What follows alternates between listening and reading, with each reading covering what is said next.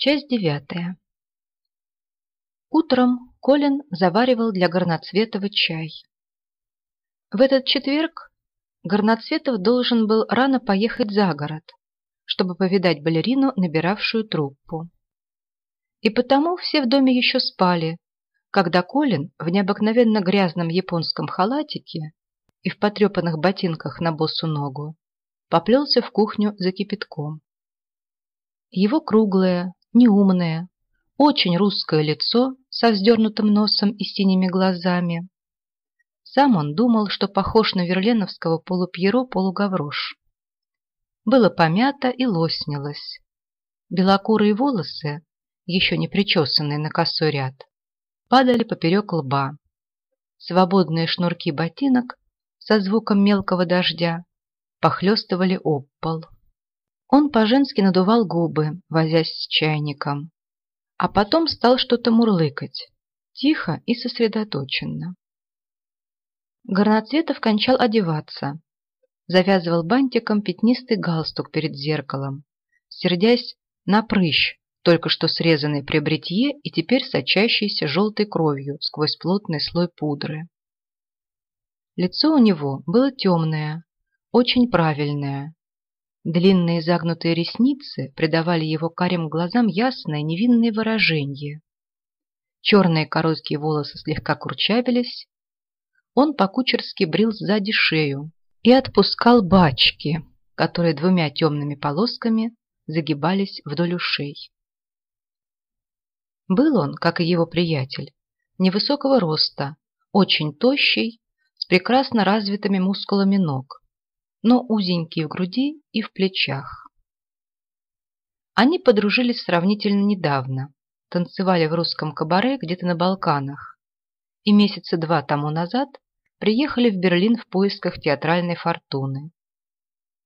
Особый оттенок, таинственная жеманность несколько отделяла их от остальных пансионеров.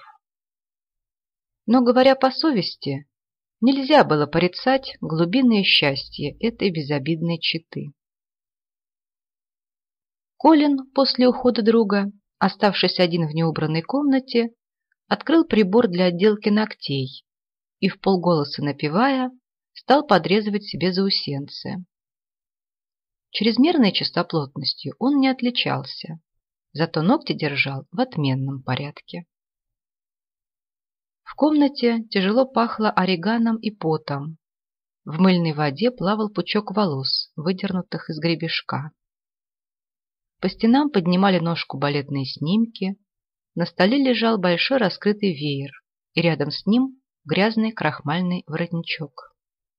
Колин, полюбовавшись на пунцоватый блеск вычищенных ногтей, тщательно вымыл руки, натер лицо и шею туалетной водой, душистой до тошноты, скинув халат, прошелся нагишом на пуантах, подпрыгнул с быстрой ножною трелью, проворно оделся, напудрил нос, подвел глаза и, застегнув на все пуговицы серое в талию пальто, пошел прогуляться, ровным движением поднимая и опуская конец щегольской тросточки.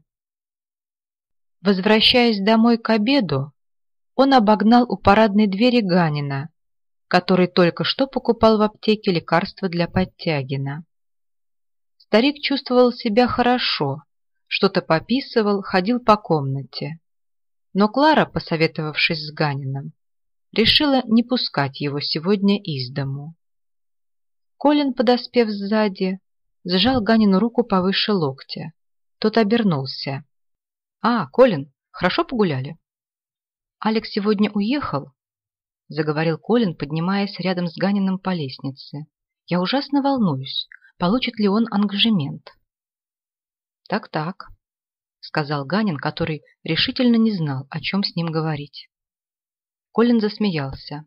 «А Алферов-то вчера опять застрял в лифте. Теперь лифт не действует». Он повел на балдашником трости по перилу и посмотрел на Ганина с застенчивой улыбкой. «Можно у вас посидеть немного?» Мне что-то очень скучно сегодня. Ну ты, брат, не вздумай со скуки ухаживать за мной. Мысленно огрызнулся Ганин, открывая дверь пансиона, и вслух ответил. К сожалению, я сейчас занят. В другой раз. Как жаль, протянул Колин, входя за Ганином и прикрывая за собой дверь. Дверь не поддалась. Кто-то сзади просунул большую коричневую руку, и оттуда басистый берлинский голос грянул. «Одно мгновенье, господа!» Ганин и Колин оглянулись. Порог переступил усатый, тучный почтальон. «Здесь живет гер Алферов?» «Первая дверь налево», — сказал Ганин. «Благодарю», — на песенный лад прогудел почтальон и постучался в указанный номер. Это была телеграмма. «Что такое? Что такое? Что такое?» Судорожно лепетал Алферов, неловкими пальцами развертывая ее. От волнения он не сразу мог прочесть наклеенную ленточку бледных неровных букв. «Приеду в субботу восемь утра».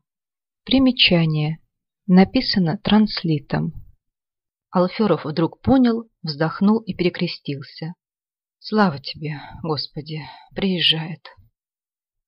Широко улыбаясь и потирая свои костлявые ляжки, он присел на постель и стал покачиваться взад и вперед.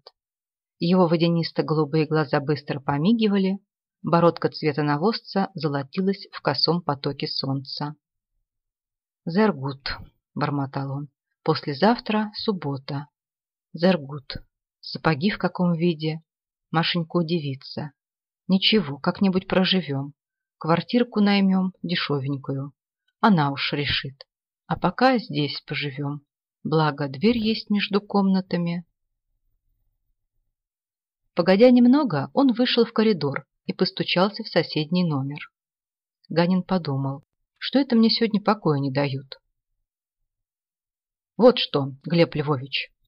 Без обиняков начал Алферов, круговым взглядом обводя комнату. Вы когда думаете съехать?» Ганин с раздражением посмотрел на него.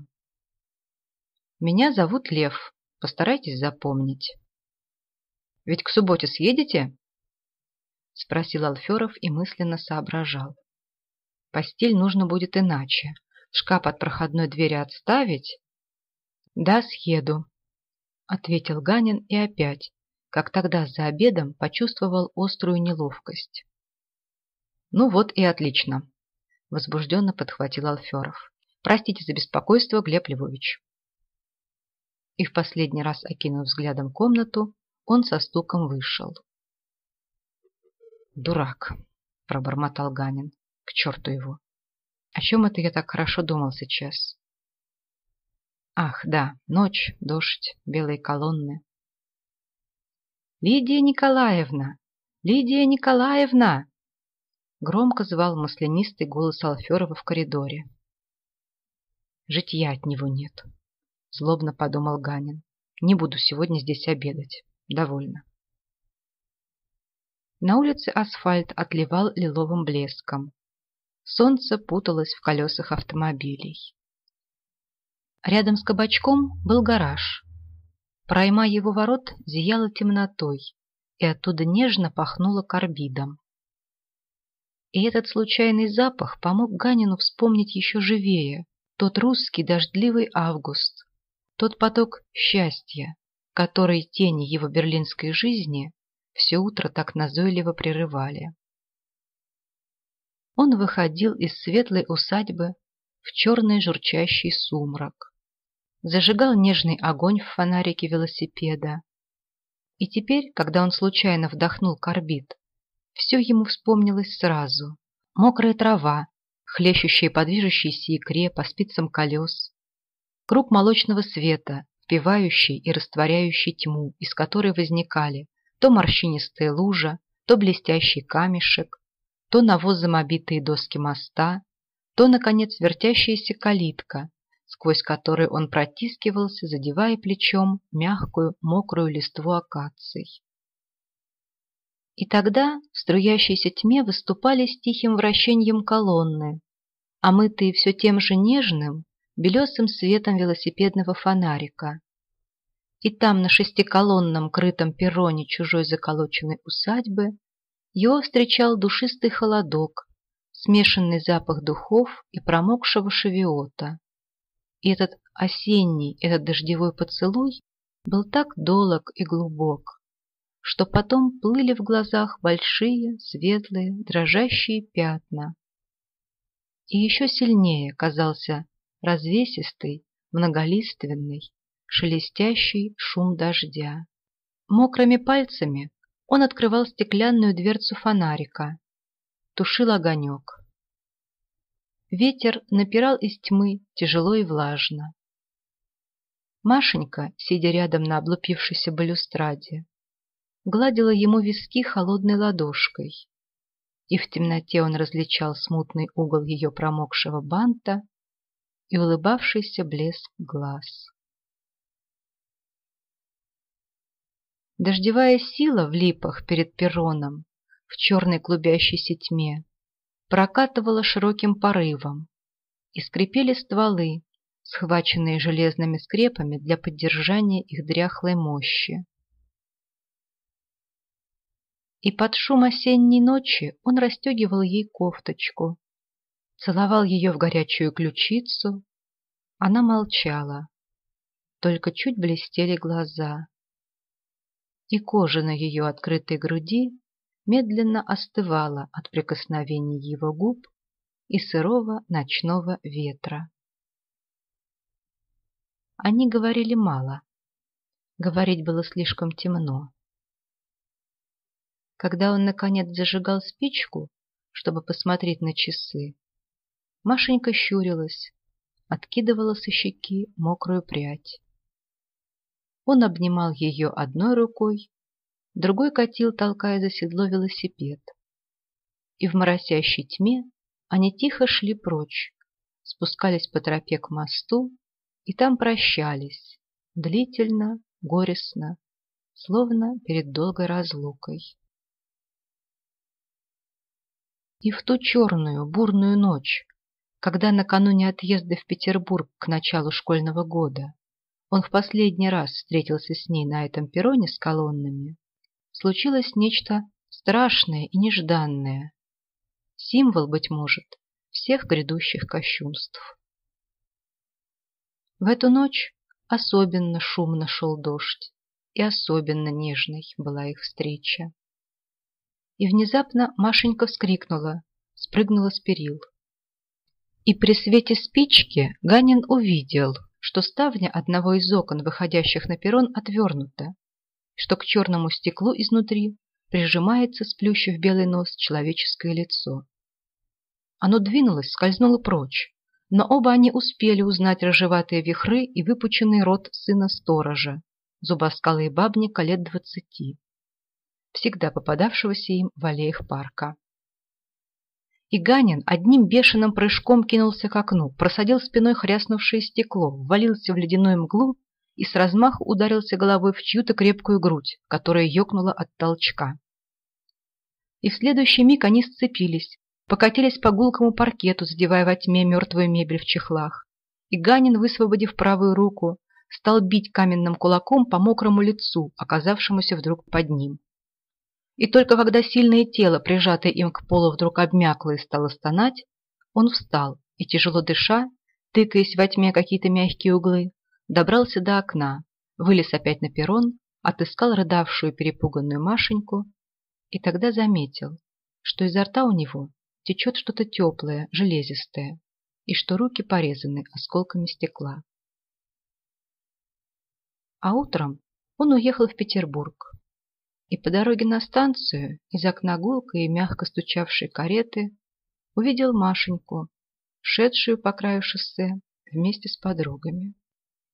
Стенка, обитая черной кожей, мгновенно закрыла ее, и так как он был не один в карете, то он не решился взглянуть в заднее овальное оконце.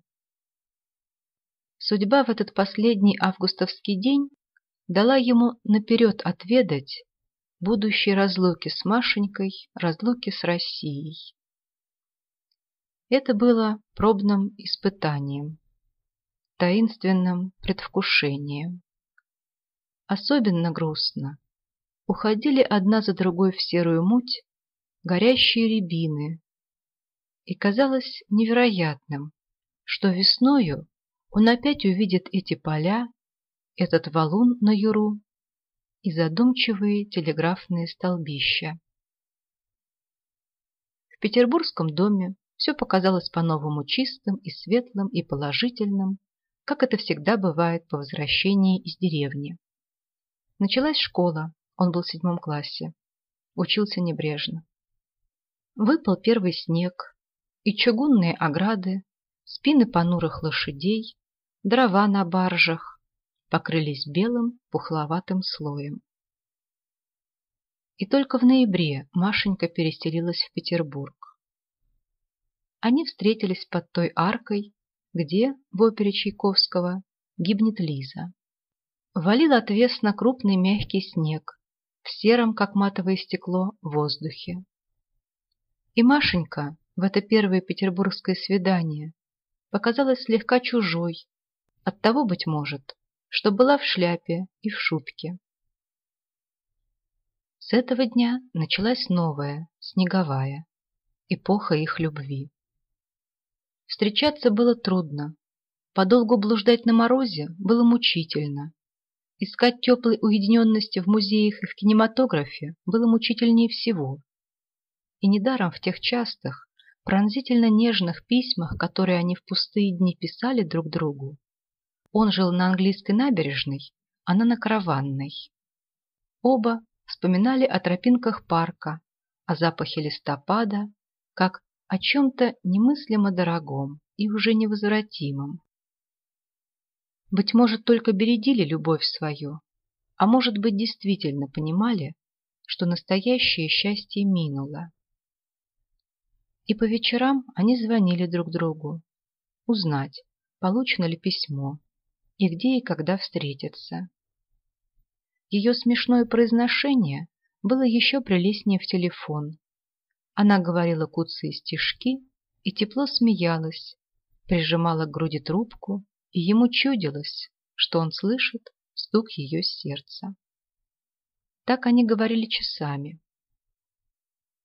Она ходила в ту зиму в серой шубке, слегка толстившей ее, и в замшевых гетрах, надетых прямо на тонкие комнатные башмачки. Он никогда не видел ее простуженной, даже озябшей.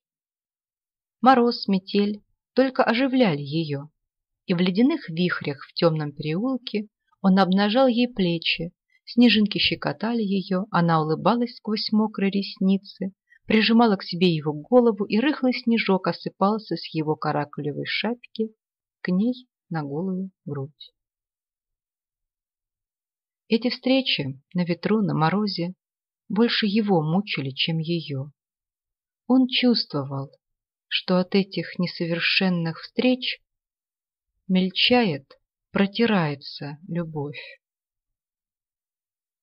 Всякая любовь требует уединения, прикрытия, приюта, а у них приюта не было. Их семьи не знали друг друга.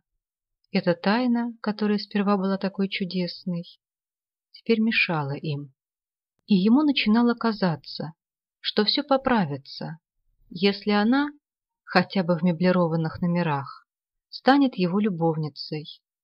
И эта мысль жила в нем как-то отдельно от самого желания, которое уже слабело под пыткой скудных прикосновений. Так проблуждали они всю зиму, вспоминая деревню, мечтая о будущем лете, иногда ссорясь и ревнуя, пожимая друг дружке руки под мохнатой, лишивой полостью легких извозчичьих санок. А в самом начале Нового года Машеньку увезли в Москву. И странно, эта разлука была для Ганина облегчением. Он знал, что летом она вернется в дачное место под Петербургом, он сперва много думал о ней, воображал новое лето, новые встречи, писал ей все те же пронзительные письма, а потом стал писать реже. А когда сам переехал на дачу в первые дни мая, то и вовсе писать перестал. И в эти дни он успел сойтись и порвать с нарядной, милой, белокурой дамой, муж которой воевал в Галиции. И потом Машенька вернулась. Голос ее слабо и далеко вспыхнул. В телефоне дрожал гул, как в морской раковине. По временам еще более далекий перекрестный голос перебивал, вел с кем-то разговор в четвертом измерении. Дачный телефонный аппарат был старый, с вращательной ручкой, и между ним и Машенькой было верст пятьдесят гудящего тумана. «Я приеду!» — кричал в трубку Ганин. «Я говорю, что приеду на велосипеде. Выйдет два часа». Не хотел опять в Воскресенске. Ты слушаешь? Папа ни за что не хотел опять снять дачу в Воскресенске. От тебя до сюда пятьдесят. Не забудьте привезти штиблеты, мягко и равнодушно сказал перекрестный голос. И снова в жужжании просквозила Машенька, точно в перевернутом телескопе. И когда она совсем исчезла, Ганин прислонился к стене и почувствовал, что у него горят уши. Он выехал около трех часов дня в открытой рубашке и футбольных трусиках, в резиновых башмаках на босу ногу. Ветер был в спину. Он ехал быстро, выбирая гладкие места между острых камешков на шоссе. И вспоминал, как проезжал мимо Машеньки в прошлом июле, когда еще не был с нею знаком. На пятнадцатой версте лопнула задняя шина, и он долго чинил ее, сидя на краю канавы. Над полями с обеих сторон шоссе звенели жаворонки. Прокатил в облаке пыли серый автомобиль с двумя офицерами в совиных очках. Покрепче надув починенную шину, он поехал дальше, чувствуя, что не рассчитал, опоздал уже на час. Свернув с шоссе, он поехал лесом по тропе, указанной прохожим мужиком. И потом свернул опять, да неверно, и долго колесил, раньше, чем попал на правильную дорогу. Он отдохнул и поел в деревушке, и когда оставалось всего двенадцать верст, переехал острый камушек, и опять свистнула и осела та же шина. Было уже темновато, когда он прикатил в дачный городок, где жила Машенька. Она ждала его у ворот парка, как было условлено, но уже не надеялась, что он приедет, так как ждала уже с шести часов. Увидя его, она от волнения оступилась, чуть не упала. На ней было белое сквозистое платье, которого Ганин не знал. Бант исчез, и поэтому ее прелестная голова казалась меньше. В подобранных волосах синели васильки. В этот странный, осторожно темнеющий вечер в липовом сумраке широкого городского парка на каменной плите, вбитой в мох, Ганин за один недолгий час полюбил ее острее прежнего и разлюбил ее, как будто навсегда. Они сначала говорили тихо и блаженно о том, что вот так долго не виделись, о том, что на мху, как крохотный семафор, блестит светлячок. Ее милые, милые татарские глаза близко скользили у его лица, белое платье словно мерцало в темноте. И, боже мой, этот запах ее, непонятный, единственный в мире. «Я твоя», — сказала она. Делай со мной, что хочешь. Молча, с бьющимся сердцем, он наклонился над ней, забродил руками по ее мягким холодноватым ногам. Но в парке были странные шорохи. Кто-то словно все приближался из-за кустов. Коленям было твердо и холодно на каменной плите. Машенька лежала слишком покорно, слишком неподвижно. Он застыл, потом неловко усмехнулся. «Мне все кажется, что кто-то идет», — сказал он и поднялся. Машенька вздохнула, оправила смутно белевшее платье, встала тоже. И потом, Когда они шли к воротам по пятнистой от луны дорожке, Машенька подобрала с травы бледно-зеленого светляка.